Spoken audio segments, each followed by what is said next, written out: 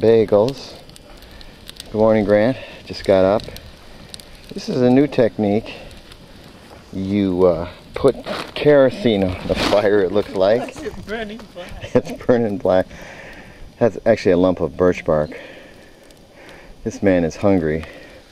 So Give me he that stick. give me that stick. He's really good at giving orders.